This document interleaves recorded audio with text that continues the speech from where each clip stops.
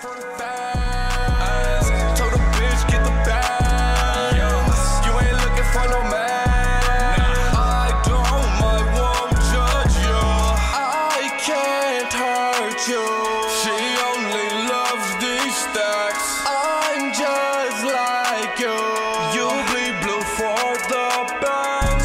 everybody, I'm Brandon. Ups and downs, money in the bank, of course. My fault I'm taking so long to get to it. It's just I had to take a little break from YouTube, man. I thought I was gonna take a break for like three weeks, but to be honest, all I needed was a few days. I feel completely refreshed. I feel good. I feel ready ready to go back hard. So you know what? Probably on Monday, I'm probably gonna start back with like three videos per day again. You know what I'm saying? Three or four per day. I just needed a quick little break because I felt like, damn, man, I've been putting in so much fucking work. But anyway, ups and downs for Money in the Bank. Um, after I react to this, I'm gonna react to Raw. I might even do NXT. I don't know. I might drop a lot of videos today. I'm feeling real good. I'm hanging out with baby girl. If you don't know what I'm talking about, you gotta watch the video. If you know what I'm talking about, then you know what I'm talking about. but it, anyway, if you don't know, you don't know. Shit, that's all I'm trying to say. Um, this video is hella long. It's 20 minutes. So of course, if I have anything to say, I'm just gonna speak over Simon. I'm gonna try not to pause it. Y'all know me, I can talk a lot like I'm doing right now in the beginning. So I'm not trying to make this video like a 25 minute video, you feel me? So yeah, let's hop on into it. Well, my friends, that was very different. I just want to say this. As What up, Simon? How you doing, bro? You doing good? You know what I'm talking I hope you're doing good. Well, look, we are there. So if wrestling wants to be really ridiculous, if wrestling wants to be really goofy, wrestling wants to be really dumb, I shall put my hand in the air and say, my name is Simon Miller, and I am enjoying this muchly because it makes me laugh and it makes me entertained. And when it comes to WWE, that is literally the word on the marquee. World Wrestling Entertainment. So with all that in mind, it's time to take this, the finger of power, and He's so dirty, man. I love this cat, bro. Money in the Bank I love this dude, 2020, man. Money on the roof. You ain't gonna believe who walked away with those. Let's up those downs. So I know Asuka walked away with the briefcase because I already reacted to uh uh Becky Lynch saying she's pregnant on Raw and Asuka's the champion. So I know Asuka won. So I'm gonna to, I'm gonna skip over that part when he talk about a Asuka. match, even 'Cause though I already know. Pre-show matches exist to warm up the fans, and there were no fans, but don't worry Bro, y'all kinda Cesaro look alike. Superman taking on Jeff Hardy because, of course, they've been knee deep in a feud for the last few weeks. No, that was Sheamus. However, Ain't that crazy? They look like they could be cousins. Maybe even brothers. Is justified. Not justified at all. Both big bald head homies. I enjoyed it. Giving it up. All there really is to say about it. Cesaro lost because he always loses. Jeff Hardy won. Usually Jeff Hardy does win. Okay. Cesaro's Swiss stock meter thing stays at zero because again, Cesaro never wins. Yeah, it was True. just there. They be- and I guess they be that's all I can say about it. He kinda beasty, Well I ain't gonna worked, guys. I appreciate you. And then the first match proper on Money on the Roof was the tag team champions from SmackDown The New Day taking on Miz and Morrison, taking on the Lucha House Party, Uh-huh. taking on the Forgotten Sons. And even though we essentially saw this only 48 hours ago, it was still pretty damn good. It's getting it up. Who won? No. The real key was that towards the end there was so much action and so many near falls and so many last minute, oh, we're going to break it up. And we did. At one point, I even thought the Lucha House Party were going to come the new champions. And they go missing all the time to the point I'm ringing my friends like, have That would've been crazy. Lucha House Party? Right? I don't know where they are. The only ridiculous thing was that at one point Michael Cole actually said the words, oh, it's the Forgotten Sons, who call themselves the Forgotten Sons because they believe they've been forgotten. Thanks, Michael. The bit when Jaxson Ryker was on the outside helping the Forgotten Sons was told by the referee he had to leave, even though seconds before the announcers had told us this was a no disqualification match. But he still left. Why he just stand there and go, no, I'm not going. What's the referee going to do? Well, I'll disqualify you otherwise. No, he won't. It's no disqualification. I'm going to stand here and I'm going to interfere. Everything would have had to continue, but because he's a Poindexter, he left. It was all this fracas that took New the forgotten ones out of the Okay. game, though. That allowed Big E to hit the big ending on Grand Metalik. Let's face it, the Lucha House Party win this match to begin with, and the mm. New Day remain your SmackDown Tag Team Champions. Now, I'll tell you what I'm excited about here. One, again, there's some great teams in the division, makes me feel all good inside. But two, given who did win the men's Money on the Roof slash Money in the Bank, maybe we can use this to light a proper fire under the Tag Team division. Please make it happen. Obviously, it won't, but I'm going to believe. Lacey Evans then Okay, cut promo after this, and I can't recap you what she said Because the whole time I was So clearly, somebody who won the Money in the Bank match for the men is related to uh something that has to do with the New Day, because based on what he looking just said. going, So let's that see. is a damn big hat. She was wearing this massive yellow hat. At one point, I thought, man, Lacey Evans. That's church lady stuff. That's southern lady head. stuff, bro. Soon she was saying she's going to win money. Don't the know nothing about that, Simon. What a giant hat. Drew McIntyre also had an interview That's with southern Charlie stuff, Caruso, man. and she said to him, oh, tonight, Drew, you've got your first title defense since you beat Brock Lesnar at WrestleMania. Wasn't Drew McIntyre versus The Big Show for the World Championship? And even if I'm wrong, shouldn't I know that I'm wrong? It's just so confusing. However, McIntyre came across like a strong, confident babyface, and that's the right way to go. Things then got I really hope he lost to Seth. on so many levels. For starters, we were having MVP versus R Truth, which is the most stuff just happens WWE. Yeah, that is random. But also, one of these guys is retired, and the other guy is meant to be looking for Gronk. I don't think before this they even had a conversation. Truth was brilliant as always, as he did his entrance as if there was 10,000 people in the crowd. Obviously there was no one there, but Truth was so crazy, he thought there was. And he carried this on when MVP was in the ring. He started throwing free throws and telling MVP that each one was going in. Because, you know, he was balling. I just love R Truth. But then, and I kid you not, Bobby Lashley just walked out.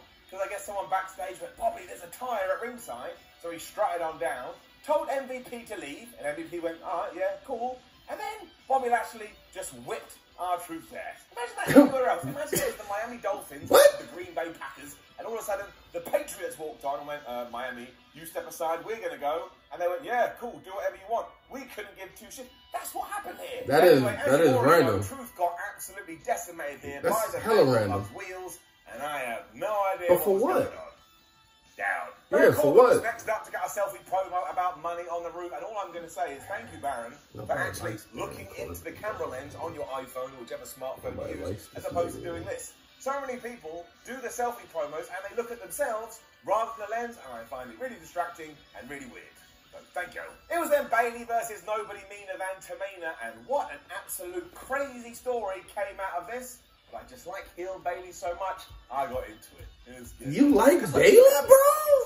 On social media. I don't really like Bayley. Much as I She want cool. She's kind of been playing this Alright, but let's see. character who now wants to be nice because no one's nicer than Tamina. And that's how she started this match. But as Bayley kept being more of a dick, she screamed, Ah, now you've got mean, Tamina. And she started to be mean, even though both personalities were kind of exactly the same. I mean, that's incredible. That is an incredible thing to throw out there. And Bayley as well, in these empty arena environments, I think she shines. At one point, she meant to say time out, but she said time in, which I'm hoping is going to be a reference to Saved by the Bell. If you know, you know. If you don't, don't, don't worry about it. Yeah, I'm also, just talking Tamina grabbed Bayley and just threw her across the announce table at one point. It looked absolutely brutal. Unfortunately, as ever, WWE had to revert to task because Tamina had this match won at one point, if you can believe it. She had Samoan drop Bayley straight to hell. Just as the referee was about to hit three, Sasha. Banks just got in the ring. And How that's not a disqualification, I don't know. Then Tamina chased her around as opposed to, you know, focus on her opponent. And then when she got back in the squared circle, Bayley was ready. And she hit the most devastating move Surprise roll up. in all of sports entertainment. Su- the surprise roll Oh. Ah. but whatever. It was She a still got the dub, it was I guess. She gets the win. She's still the champion. We bring down the board. That's 31, and we're not even in the summer. I can't understand that what's going crazy. on. And that finish gets her down, which is a shame because I always enjoy it. However, there was some more teasing before this that we are going to get Bayley versus Sasha Banks at some point. That's what I want. Bayley wouldn't let Sasha get a word in when they were being interviewed. I'm trying to see Sasha beat the brakes off of Bayley and take that championship. All right, my nigga Seth Rollins. Win the WWE title to relieve Drew McIntyre of his burden. Oh, that's kind of interesting and kind of cool. But then, seconds later, we were having Braun Strowman versus Bray Wyatt for the Universal Championship, and Michael Cole said, "Oh, well, Bray Wyatt has said to Braun he wants to remove him of the burden of the Universal title." I'm like, Uh, like one, I don't think that's a storyline here, unless I've gone crazy. And two, if it is, why are you doing the same narrative across both That's shows? Rollins. Yeah, yeah. I don't know why. I feel it. Little things always do is getting it down. No, how Simon, you be paid. You be tripping. Chill, my nigga. Play to Braun Strowman. Because was this the best match I've ever seen? No, it was not. Do I think I'll ever watch it again? No. But when it comes to characters and at least trying something new, I appreciated it. Getting it up. And there was Right. this one great kick out after Sister Abigail that actually got me. I went, oh, Bray Wyatt is going to win the championship, but he did not. Because we had Firefly Funhouse Bray here, you know, the kids' TV presenter, who just dances around. Uh. it wasn't even about the match. It was just me appreciating how well he has that character down. And when he first got to the ring during his Mm. wasn't creepy. He looked over at the announcers and said, "You guys are doing a great job, no matter what anybody else said." I love stuff like that. It makes me feel like I'm. So it wasn't creepy Bray Wyatt. It wasn't the. I- Like I say, I got into it. They really did beat the hoo-ha out of each other too. There were some stiff shots going in, which makes sense because they're not small people. And when it does come to the finish, I will say this, as I already mentioned, it was a little bit gaga. It was a little bit amateur theatre, but at least it was WWE doing something. It wasn't a DQ, and it wasn't the most devastating move in all of sports entertainment. I can't rag on that, and then rag on them for trying to be creative. Yeah. With that said, yes, at one point Braun Strowman rose from below the ring apron to reveal that he was wearing his Wyatt family mask. And I think the supposed reaction was going to be, oh my gosh. And I went, because it was the cheesiest thing I'd ever seen. I mean, look. You stupid. Why is Simon wearing a plastic mask? Hey, this dude Simon, bro. I love this dude, man. With the puppets You were stupid. ringside, and Bray Wyatt was like, "Oh, we've done it. Braun Strowman is coming back." Hey, to the Braun family." getting buff. He losing weight. Remember he was fat? He took the mask off and he stamped on it. That cost 75p. I regret doing that. He hit Bray with the running power slam and he got the one, two, three. And you kind of knew this was going to happen when it was Firefly Funhouse Bray because he can lose and nobody cares. Yeah, Given it what wasn't the Fiend. Maybe, I think we got through to the other side all right. There was some major teasing afterwards, and now the Fiend is going to go after the monster. I knew it. And that seems obvious as well. Yeah. It was just that reveal That's of good. the mask. I didn't even realise it was the mask at first. I thought Braun Strowman had like stuck his face into a bunch of food and accidentally not wiped it off. What are you gonna do? We went straight into our other world title match after this, and we are doubling down on the new Seth Rollins character because he officially has new music, and it sounds like it came straight out of an RPG video game menu. But I'm all right That's- with that. I also think this is smart because Seth at one point will be a babyface again. And when you hear the burn it down, you will have that trigger reaction in your stomach and you will cheer. And that's one of the mistakes WWE made with Roman Reigns. Let's remove him from all of that. Also, this match was absolutely fabulous. And that's one of the reasons I felt so sorry for him and Drew McIntyre here, because if we did have the noise of the crowd, have been lit. they, without two shadows of a doubt, Yeah. would have got into this. It was damn electric. I know it's nobody's fault, unless, of course, the disease is watching this, and then it is your fault. So flub you, you mother Hubbard, you piece of shit. This I'm gonna dude. find you, and I'm gonna whip your Jazz. Say it He is so corny. I love this cat, bro. and then they sped things up and they were throwing each other around. Seth got hurled into the announce table again, and we'd already seen it once, but somehow twice it was still brilliant. And then Drew was in the tree of woe position at one point, basically did a sit up using his core, and he grabbed Seth Rollins and chucked him halfway across the ring. It looked great. There were these really cool sequences too where they just kept reversing each other's moves or countering each other's moves as if they were playing WWE 2K.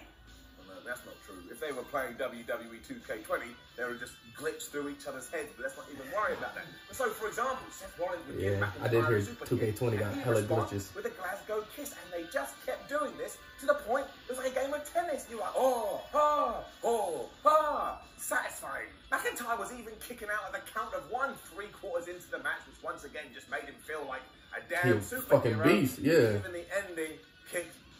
Behind because Seth thought he was in control, went for some curb stomps and some super kicks, but then from nowhere he got smashed with the claymore. He went down because the claymore kick is an actual devastating move, unlike some You know that shit deadly. Talk about. And Drew McIntyre remains a WWE. Okay, okay. Such a good showing. I'm not mad. Drew McIntyre's a beast. I like Seth Rollins better. See where the story goes. But Drew McIntyre's a beast. I'm not mad at it. Comes across as a good sportsman, and I like a good sportsman. It makes me like you. Drew McIntyre, ladies and gentlemen, he is flipping the best. Yeah, I like Drew McIntyre. And not only did he actually think he had had a match with MVP, but he also thought he had won. That's R Truth, you What? The hero of the hour. He then showed a picture of himself holding the 24-7 title, saying without it he felt lonely, and that now he is going to get it back, and told Tom Brady to watch his ass. Of course, he meant Rob Gronkowski, but again, R Truth, somebody give him a deal. And then, my friends, it was time for the money on the roof match, and I don't even know what I'm going to tell you, other than talking about ridiculousness and goofiness. This may be one of the best things I've ever seen in my damn life. Because for starters, we had proper entrances for everybody in this. So the women entered into the lobby and the men entered into the gym. But because we kind of gave them like name templates, it was like watching some crappy video game that came out on the SNES back in the 90s. And then straight away I knew this was going to be the best thing ever because when Asuka had her entrance, she was on the balcony and she just dove off into everyone, started doing a dance, and then legged it in a lift. What? However, before we Yeah, start huh? it down, I've got to say, this was like being on a roller coaster worth of emotions for me, and it's getting it up. I also got my I'm so confused. fighting in the WWE HQ Fitness Center, and I wanted to get a closer eye on it, and it looked great. And then you had Rey Mysterio doing modified Hurricane Ranas using the dipping bars, and Baron Corbin picking up a 45 pound weight and just chucking it at somebody missing and smashing the mirror in the gym. And he responded to this like a kid. And started laughing? broke his parents' bedroom window. So Baron Oh. Corbin, ladies and gentlemen, is happy to threaten death by chucking someone off the roof, but if he breaks some glass, he turns into a 40-year-old. There you go. Otis also trapped AJ Styles under a really heavy barbell that realistically anybody could have got out of. And when Rey Mysterio ran past the toilet, Stupid. the Love came out, and Rey stared at him and smiled like, "Oh man, you're my favourite person ever." I felt like I was on drugs. Now it is it was carnage to watch, it was like a school scrap used to have in the playground, and the amount of instances with wrestlers just standing around looking confused before running off to do something else. That was happening around about every 25 seconds. Also, Doink was hiding behind an office chair at one point. What the Doink fuck happened? wearing a shirt. Okay, I kinda wanna watch this. wear some kind of This shit just weird, huh?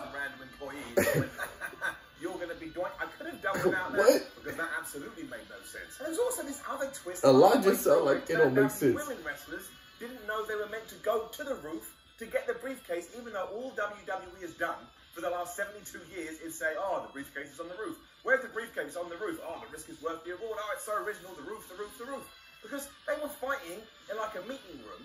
Dana Brooke saw a briefcase just hanging from the ceiling, so she grabbed it and acted like she'd won. Then Stephanie McMahon popped up in another cameo and basically went, Dana, you moron, you're meant to get to the roof. This is the money in the bank conference room, which is not a thing.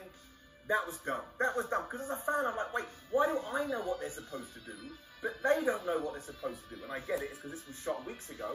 But remember that and tie it into the storylines on TV. That's a down. Anything like this, though, was almost made up for instantly, especially when it comes to AJ Styles. The immortal AJ Styles, who could be my new favourite person on the planet. He was walking around the corridors at one point and he saw a picture of The Undertaker and he got so freaked out because, of course, he would. The Undertaker killed the Phenomenal One, and mm-hmm. yet sometimes he got out of the dirt. Then there was an Undertaker themed room with a casket in, So and he started Aleister Black was tripping. there, and he chucked AJ in. He didn't lock the door, but Styles apparently was trapped in there. You tell me. I don't have an answer, and nor do I have an answer as to why Paul Heyman was in catering just eating lunch. And then I was turned up, he saw the food, started to go, shouted food fight, and so they had a food fight. But I tell you, This is so I'm random. What the fuck? still laugh no more. And then John Laurinaitis got hit with a pie. Dana Brooks slipped on some wet floor. So this was just funny. And AJ Styles and Daniel Bryan fought into Vince McMahon's office before getting told off by the boss and then acting like school children again the second time. It was just like thing, thing, thing, thing, thing, thing, thing. Yeah, this thing. sound And you were at, one point, you were onto another point so fast that maybe you like that one. This was absolutely just mad. There was no flow here whatsoever. I'm not trying to pretend there was, because all of a sudden we were on the roof. And actually, you know, this was safer than a normal Money in the Bank ladder match because there wasn't any too crazy ladder spots. It was kind of nice seeing all the traffic in the background. That was a different visual. And I also got very excited when it was Asuka that appeared and started to climb up the ladder. It genuinely seemed like she was going to win until Baron Corbin arrived. And this is when it got bizarre again because he started climbing the other side of the ladder, but Asuka just talked him in the face. I was like, he can grab the men's one and you can grab the women's one. The reason I was freaking out was because I wanted the Empress of Tomorrow to win, but thankfully, my word, she still won. She got the briefcase, and I made a noise that I will not repeat from you here. It sounded like a pig giving birth, but I was just so damn made up. Who saw that coming? I also realised at this point that there'd been no commentary over this because Michael Cole just appeared from nowhere and went, oh, right, Asuka won. And I also appreciated that. Didn't need it. As for the men, well, Otis was trying to get to the briefcase but couldn't because he kept breaking ladders again. And then it happened. 'Cause he Baron too Corbin fat? I'm dead. Mysterio, and he Y'all threw off the shady. roof, And he grabbed Aleister Black and he threw him off the roof. And Damn, wasn't really I've pictured that very well. Well, no, I've described it to you in the same way that WWE showed it to you. It was just like, do you want to go walk down the road? Yeah, that sounds good. Do you want to be thrown off the rope? Yes. Why the hell not? Now, I will say, WWE did add in sound effects here. And from the throw to the landing, it was only about two seconds. So I guess you're meant to think they just fell on a smaller roof on the other side. But I think we all built this up a bit too much. It's kind of just there. But who cares? Baron Corbin is now a murderer, and I look forward to him getting arrested on Stupid. Raw. He still found the time here to start climbing the ladder again, and he was doing it with AJ Styles. And once again, they turned into youths, and they were fighting over the briefcase, and they were both able to grab it. And at first, I was like, oh no, we're going to have simultaneous Money in the Bank champions. But that wasn't the case, because how can there be any more? But there is. Then Elias arrived, and you're like, Elias? Where the fuck here?" did Elias come from? Corbin with his guitar. He went down, and AJ was so surprised by this, he like juggled the briefcase for a bit. He fumbled it, and it landed in the hand Oh! of Otis. And My I- nigga Otis won. My friends out there in the land of the internet, I have never been so pleased in my entire life. Yeah, I'm Otis surprised. is Mr. Money in the Bank. That's fire. Asuka and Otis coming away as the top guys. I certainly didn't. But That's kinda me tight. And also, going back to what I said earlier, why can't Otis cash this in on the tag team division? You'll go, oh, Simon, that sounds oh. rubbish. Depends what the future plans are. Oh. That's We why he said about the New Day, he said, oh, oh, 'cause- We wanna have people making That's decisions like dope. this, And it would be different. I don't think it craps over Otis at all. If anything, it makes him even better babyface because he remembered his brother Tucker, who also right now has gone missing. Tucker, we all hope you're doing okay. There was also the fact that this only went two hours and 23 minutes, which is the greatest thing ever. I think all pay-per-views should be that length. I mean, it was shorter than Raw, for goodness sake. Hmm. I'm not trying to pretend this wasn't a couple of hours of absolute just nonsense and carnage and mayhem. It certainly was. But look, did it entertain me? You're damn right. It did. sounds fucking insane. All the way at the intro, that's all I read right now. Just do crazy things, be stupid because you can get away with it. If I can enjoy myself, then hey ho, I will give you two thumbs up and an over arrow that says, give it up. First and foremost, shout out to my guy Simon for the great review like always. Simon, you are very appreciated. Um, yeah, man. So, Otis got the fucking money in the bank. I already knew that Asuka got it because I reacted to Becky Lynch saying she pregnant. So, Asuka got it. Well, Asuka was the fucking champion. Otis got the money in the bank. That's hella random. I like it, though. I like it. Uh, Drew McIntyre still champion. He beat Seth Rollins. I like Drew. He's a beast. I like Seth Rollins more, but Drew McIntyre still a beast. So I'm not, I'm not, you know what I'm saying? I ain't tripping off of that. Um, it sounded like it was cool. It sounded hella fucking just random. You know what I'm saying? It sounded very, very random. But it seemed like it was pretty good. Simon said he liked it, even with all the randomness happening. He said he liked it. The way he described it, it sounded pretty good to me. Let me know if you guys liked it down in the comments. But yeah, now I'm about to react to Raw. Uh, I might do NXT as well. Who knows? We'll see. But I'll see y'all next time. Peace.